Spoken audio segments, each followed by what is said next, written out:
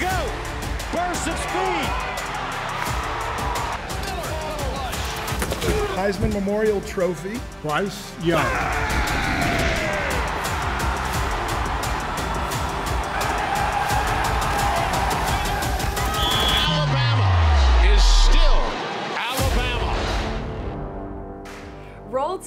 And welcome to the Crimson Tide production studio right inside Bryant Denny Stadium for another episode of Tide TV This Week. I'm Kenzie Hughes, joined by my co-host once again, Seth Payne. Roll Tide, Seth. Welcome back. Roll Tide, happy to be back. Happy to be back and happy to be watching our men's basketball team because that Tide is absolutely rolling. The fourth ranked Alabama men's basketball team was on the road for the second consecutive game when the Tide traveled to Columbia to take on the Missouri Tigers this past Saturday. Yeah, and going into that matchup, Mizzou was 14 and 4 overall, and they had won the last three in a row over the Tide in Columbia. With the Tide up 4 to 2, Brandon Miller drained this step back shot from beyond the arc, and then check this out. After the steal by Mark Sears, pushing it up the court, a little alley oop, highlight action. Miller slams it down to make it 9 to 2, but Missouri would battle back and eventually take the lead. Now with Bama down one, shows what the team's all about. Sears doesn't give up on the play, gets the steal, the hoop and the harm. Bama starting to roll a little bit. They retake the lead and they would never trail again. They would absolutely never trail again as they used a 14 0 run to put that game away.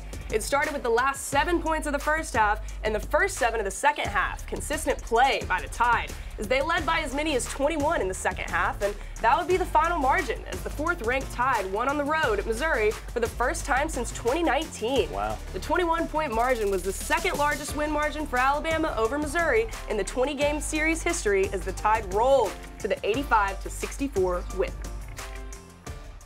Our guys have been doing what we're asking them to do for the most part. You know, I thought we could have done a little better better job on the glass. Um, so again, you got to give Missouri a ton of credit. Without Kobe Brown, they they didn't really get killed on the glass as much as I thought we could have done to them. They got too many old boards there in the second half, but the way they play, you kind of got to play smaller.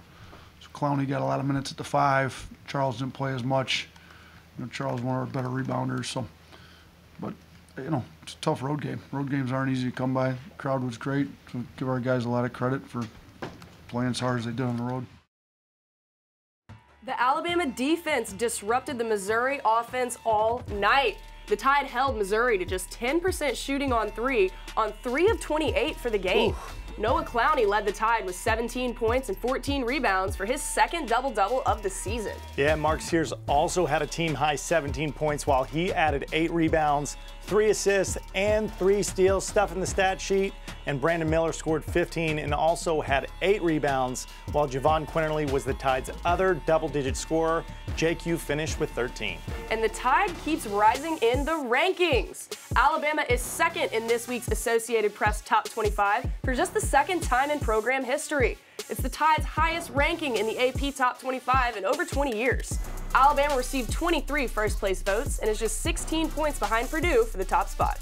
And over in the USA Today Coaches Top 25, the Tide was ranked second there as well. Alabama received eight of the 32 first place votes. It was the Tide's highest ever ranking in the coaches poll since the USA Today took over the coaches rankings in the 91-92 season. Records are being broken, and the Tide just keeps moving on up, Seth. Yeah. Joe Lunardi has Alabama as a number one seed in his latest bracketology, playing their first two games. Guess where? Birmingham, baby. How awesome would that be? Yeah, that would be great getting to play here in Birmingham. That'd be a huge advantage for the Tide in terms of travel and fans. But you know, Kinsey, they looked pretty good on the road this past weekend, and there were a lot of Bama fans there in Columbia cheering on the Tide. There absolutely were, and it kind of sounded like a home game for the Yeah. Crimson Tide throughout the game. Let's take an all access look at Alabama's big road win over the Missouri Tigers. On the road, hostile environment, likely a sellout crowd, and likely a very tough foe in the Missouri You know how we do it. We do it for one another. Leave no doubt against the best team in the country. Clowney to himself, plays it up and in, and Alabama gets on the board first. Picking it up, Clowney lays it in for two against Diarra. Miller stepping back, deep three, bottom. Ooh, that was by Sears. We got three on one. Sears on the drive. The lob and the finish by Miller. Great job defensively. Sears. Beautiful take that time by Mark Sears, who transferred from Ohio. But then look at that shot. Let's fly for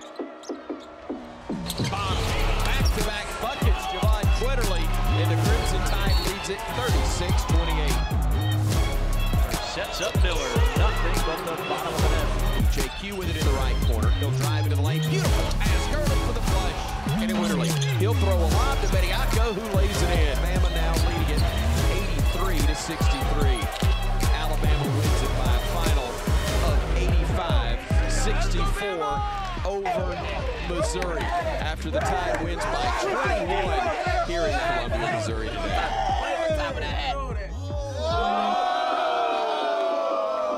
Tide TV This Week is presented by the University of Alabama, where legends are made. Ford, for great offers on F 150, see your local Ford dealer. Proud sponsor of the Crimson Tide. Uh, Try it again. Play up up. Play up. We need a huge crowd to pack Coleman Coliseum.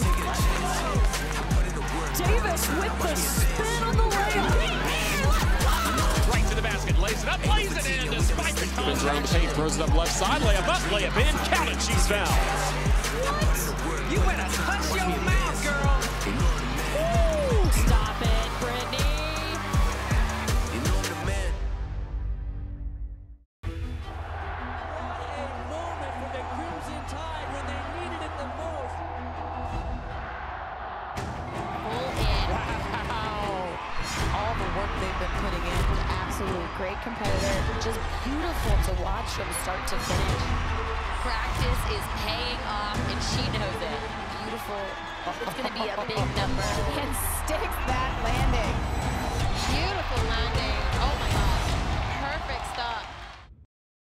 Welcome back to Tide TV this week. The second ranked Alabama men's basketball team was back at home in Coleman Coliseum on Wednesday night after a two game road swing. That's right. And the Tide had already beaten the Bulldogs once this season, with Alabama defeating then number 21 Mississippi State by 11 on the road in Starkville, 78 to 67 to open up SEC play back on December 28th.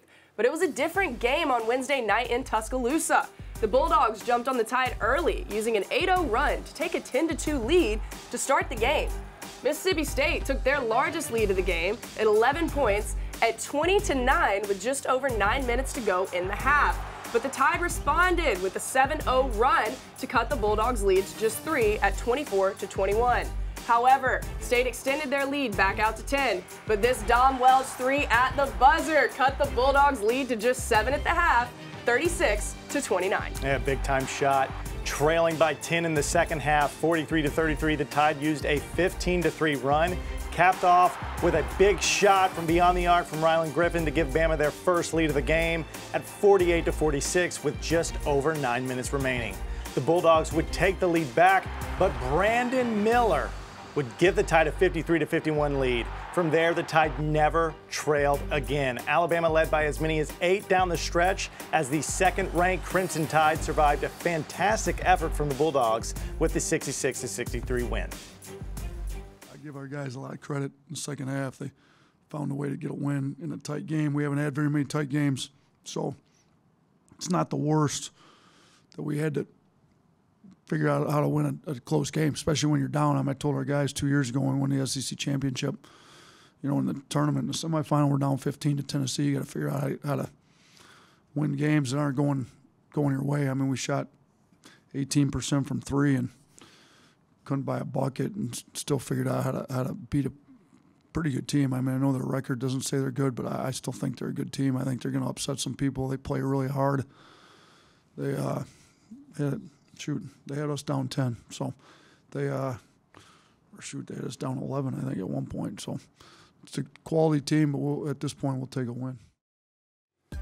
Javon Quinerly led the Tide in scoring with 14 points off the bench to go along with four rebounds and four assists.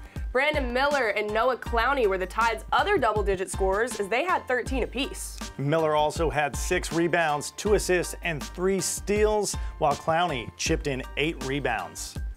You know, freshmen have really been the key to the Tide's success this season. In fact, there have been three starters for the Tide as of late. Brandon Miller has won five SEC Freshman of the Week awards and leads the SEC in scoring. Absolutely wild, but Noah Clowney has also been very impressive as of late, as he was the only freshman in the SEC to average a double-double this past week. Wow. These freshmen are pretty good at basketball, I would say. Oh, yeah. Maybe sarcasm there, but let's get to know a little bit more about Noah from himself.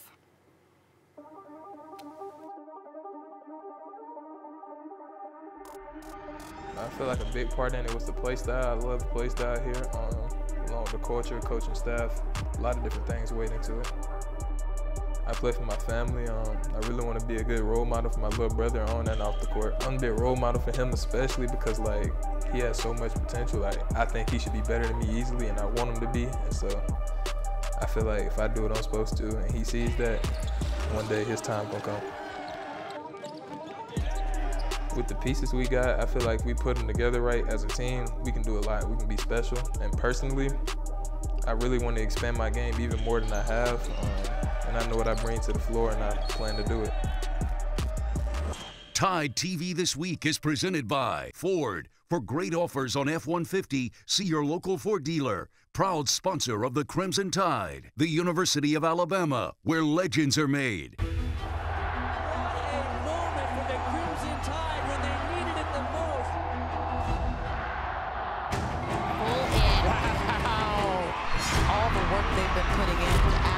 Great competitor. Just beautiful to watch from start to finish. Practice is paying off, and she knows it. Beautiful. It's going to be a big number. And sticks that landing. Beautiful landing. Oh, my gosh. Perfect stop.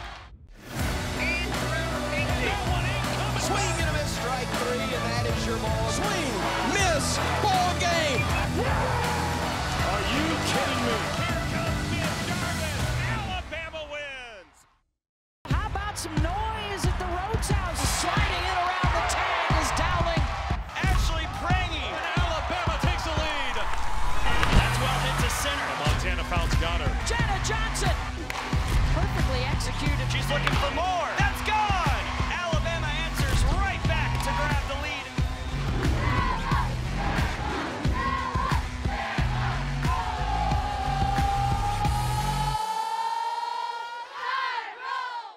Welcome back to Tide TV this week. The Alabama women's basketball team had a huge matchup inside Coleman Coliseum this past week. The Tide hosted third-ranked and undefeated LSU on Monday night in Coleman Coliseum. Yeah, it was a tough matchup. Entering that matchup, the Tide had won three in a row, though, but it would take a near-perfect performance to upset number three LSU as the Tigers led the nation in both scoring offense and rebounding margin. Mm, two very important categories in this game. Absolutely. This three-pointer, though, from Aaliyah Nye gave the Crimson Tide the early 3-2 lead. With Bama trailing later 11 to 7, Sarah Ashley Barker made it a two-point game at 11 to 9 with just over four minutes to go in the opening period. However, LSU closed out the first 10 minutes of play with an 8-2 run to take a 19-11 lead after the first period. Alabama would never be able to get any closer as LSU used a 28-7 second period to take control of the game. The Tide played a gutsy third period where LSU outscored Alabama by just a basket, 22 to 20. But that wouldn't be enough as LSU showed why they are undefeated and one of the top teams in the nation as LSU defeated Alabama 89 to 51. Really great crowd. We hope they'll keep coming back. Um, we've had better nights. And um, again, I just want to thank everybody that came out and hope we can build on that here down the stretch with some really good more home games. Alabama had a tough night shooting, connecting on just 29% from the floor and 5 of 27 from beyond the arc, while LSU shot 48% and knocked down 8 of 18 three pointers. LSU was dominant in the paint, outscoring Alabama 42 to 22. The Tide had just one double-digit scorer in Brittany Davis. Davis also pulled down seven rebounds. Jada Rice had a team-high nine rebounds while also chipping in five points and a pair of blocks. And with the loss to number three LSU, the Tide is now 15 and 5 overall, 4 and 3 in the SEC. And Kristy Curry's squad is currently ranked 24th in the net rankings and are a 9 seed in ESPN's bracketology. Yeah, hoping to see that seeding improve. The 11th ranked Alabama gymnastics team, though, also had a top ranked matchup at home this past week as well, as the Gym Tide hosted number two Florida last Friday night. It was a matchup of the past two SEC championships, as the Crimson Tide won the SEC title in 2021 and the Gators won it last season. Yeah, the Crimson Tide won the floor exercise event, defeating the Gators by a score of 4-9-4-2-5 to 4-9-3-0. The Tide had four scores of 9-9 or higher, led by Luisa Blanco, who won the floor title with a 9-9-5.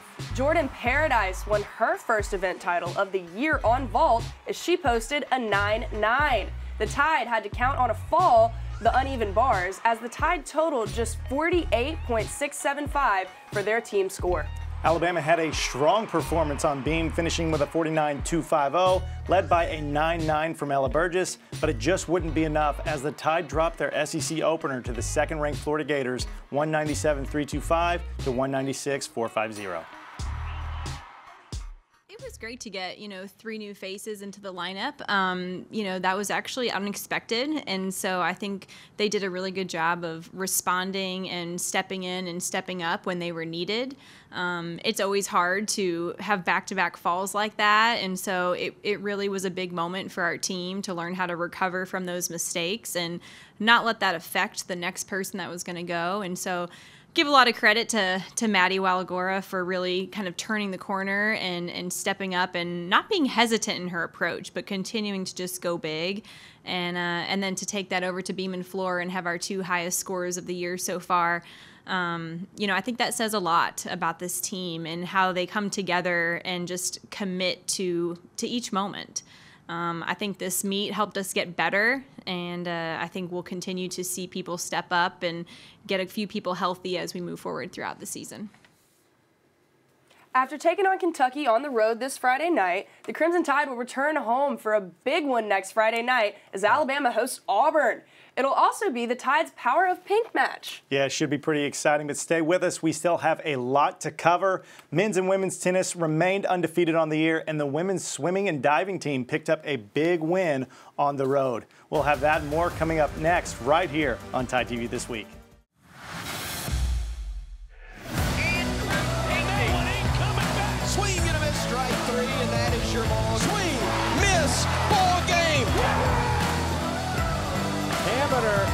Puts it into play. Are you kidding me? Struck him out looking with a fastball. Spectacular.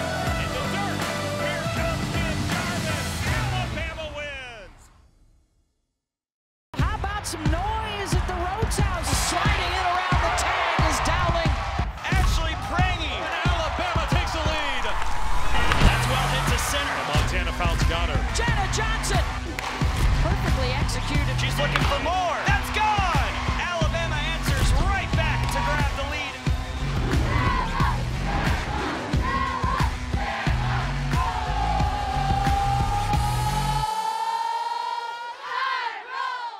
Welcome back to Tide TV this week. The spring season is almost in full swing. Seven sports were in action this past week in both men's and women's golf, along with baseball, softball, and rowing. We'll be starting soon. Yeah, and one of those seven sports in action this past weekend was the Alabama women's tennis team, and Jenny Mainz's squad remained perfect on the season. After defeating Navy 6-1 in their season opener, the Alabama women's tennis team picked up their second win of the year with a 4-3 victory over Memphis. After dropping the doubles point, the Tide roared back, winning four of the six single matches to secure the win. The women return to action this weekend as the Tide heads to San Diego for matches against San Diego State and UC San Diego. And what about the men's team? They picked up a couple of wins on Sunday. George Husack's team defeated UAB 5-2 after winning the doubles point to start the match. The Tide won four of the six singles points for the 5-2 win. And not only did the Tide pick up the doubleheader sweep with the win over Chattanooga, but the Tide swept the Mocs as well.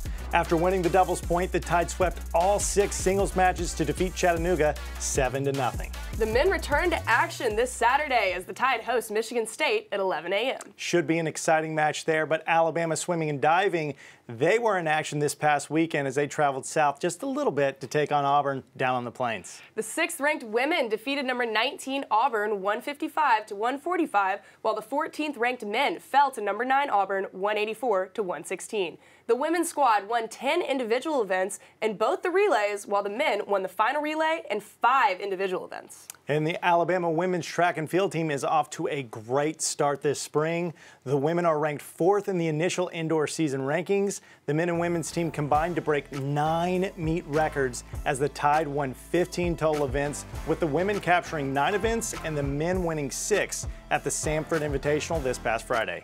And the Alabama softball team is also ranked in the preseason rankings. Alabama is ranked sixth in D1 softball's top 25, seventh in the USA softball poll, and eighth in the Softball America top 25. The Tide begin the season on February 10th, hosting Lehigh and Georgia Southern for the leadoff classic. Do you hear that? Sounds like another ranked Alabama team. The baseball team also ranked. Coach Bohannon's squad was ranked 20th in the D1 baseball preseason top 25. And you can catch the Alabama baseball team in action on February 4th for their annual Fan Day event beginning at 10 a.m. There will be an autograph session, facility tour, and more. Just go to rolltide.com for more details. Stay with us. We'll have our plays and players of the week coming up next in just 90 seconds right here on Tide TV this week.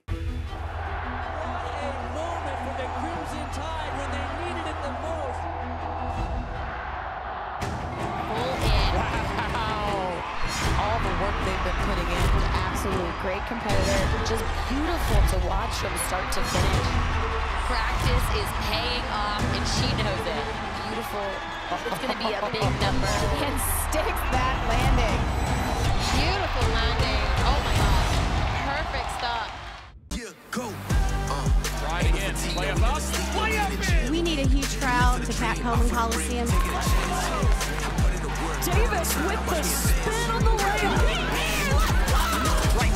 Lays it up, lays it in despite the Spins around the paint, throws it up left side, layup up, layup in, count it, she's fouled.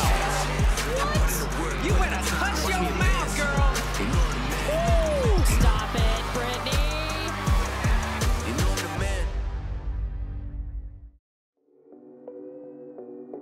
Good idea. Now Bama numbers the other way. Alley oop. Oh! Miller on the flush.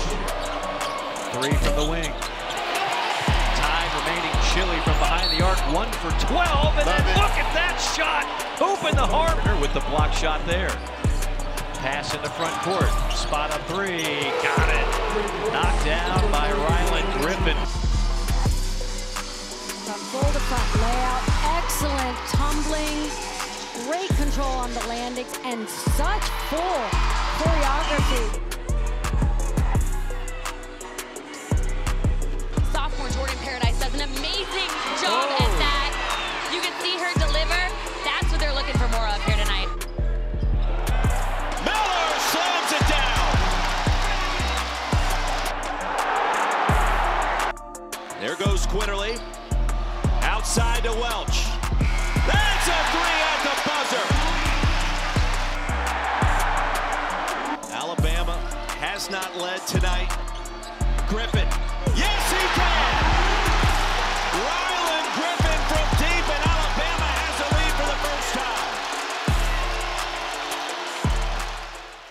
Welcome back to Tide TV this week. So those were our ATI plays of the week. Now let's take a look at our players of the week, brought to you by Legacy of Hope. And Noah Clowney was the only freshman in the SEC to average a double-double this past week, as Clowney averaged 12 points and 11 and a half rebounds in the Tide's wins over Vanderbilt and Missouri. Good gracious. What about Mark Sears, though? Because he tied Clowney for the team lead with 17 points in the Tide's road win over Mizzou. Sears hit 8 of 9 free throws and added 8 rebounds, 3 assists, and 3 steals in the win. Gotta love what he's doing right now, but in helping the Tide improve to a perfect 7-0 in SEC play, Brandon Miller scored 15 points, adding 8 rebounds and a block in their win against Missouri. Safe to say that he's pretty good at basketball, right? Uh, just a little bit, yeah. well, congratulations to our Legacy of Hope players of the week. Yeah, and Kinsey, here is something that those student athletes and all future student athletes will be able to benefit from the University of Alabama's new NIL Center. That's right, and it'll be the first of its kind, a dedicated NIL hub called the Advantage Center, which will serve as the epicenter of sport for name, image, and likeness endeavors for the more than 600 Crimson Tide student athletes. The Advantage Center will have a team of dedicated staff to provide education and resources for NIL opportunities and help student athletes build and elevate their personal brands. This is part of the University of Alabama and Learfield's new 15 year agreement. And here's what Athletic Director Greg Byrne had to say. This is a big deal for the University of Alabama Athletics. It's first of its kind NIL center that will benefit our 600 plus student athletes. Thank you to our long-standing partner Learfield. Roll Tide. Roll Tide to that, Seth. That is absolutely huge. Talk about a recruiting advantage. Talk about an advantage overall. Oh, yeah. Alabama's already the best university. It's a championship school, and now the student athletes are going to have a huge advantage in securing NIL deals and building their personal brands. I mean, what else could you ask for, Seth? I mean, that sums it up perfectly, Kinsey. That's everything you could ask for if you're a student athlete. I mean, sign me up. I'm pretty sure I still have a little bit of eligibility left. I'm just saying. Yeah, I know. Well, hey, contact you for NIL deals, right? I played some basketball too in my day. May need to call up Coach Curry, see if she needs a shooter. Maybe not, but sign me up either way. I've got some eligibility left, Coach. Yeah, and Coach Oats, if you need a 6'3 small forward with bad knees and dancer's hip, I'm ready too. Just give me a call. But thanks for watching this week's episode. We hope you enjoyed it, and we look forward to seeing you back here next week for another episode of Tide TV This Week. See you next week, everybody. Roll Tide. Roll Tide. This has been a presentation from Learfield,